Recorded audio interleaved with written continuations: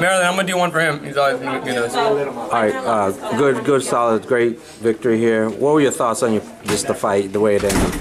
Great fight, man. I mean, I wish I could have sat in front row and watched it. Very entertaining.